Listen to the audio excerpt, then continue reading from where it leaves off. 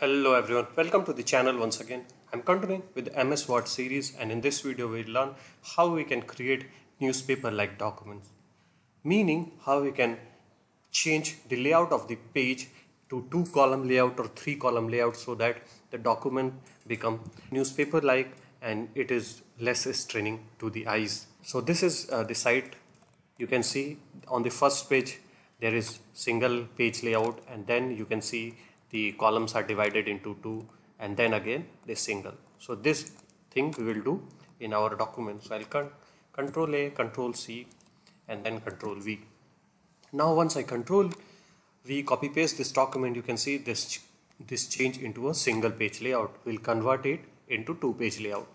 So if I click here and go to columns I go to layouts and then columns and then you can see one two page.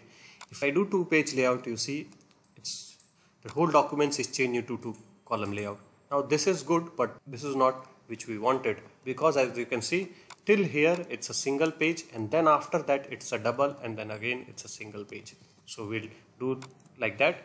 I'll control Z and then I'll click here and then I'll go to columns and more columns and I'll click 2 and then you can see apply to whole document or the point forward. So I'll click point forward and then I'll click OK.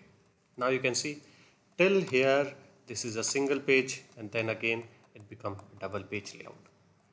But this is also not which we wanted because as you can see after this after this it has a single column layout. So we'll change this again.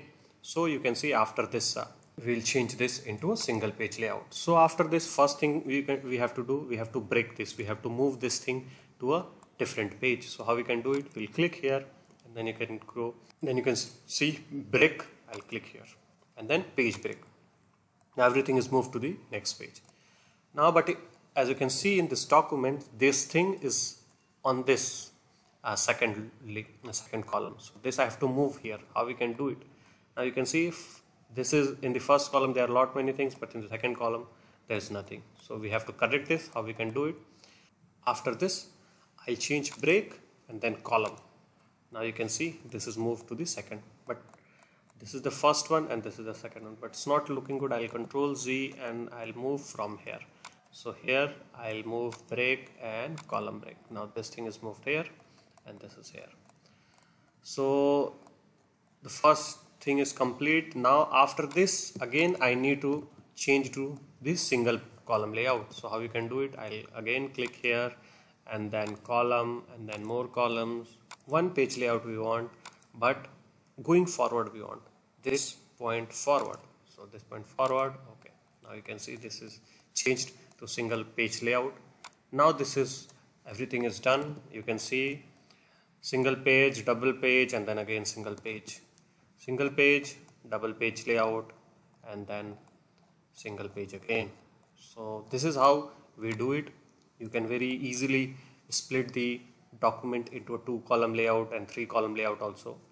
And then you can move the call move the data from one column to other columns also. Suppose you want to move this from this column to this column how you can do it? You can go break and then in place of page we you do column break. So you do a column break this is moved here.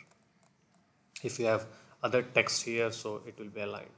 So this is how you do it I hope you learned something today. Thank you so much for watching and please do like share and subscribe the channel. Thank you so much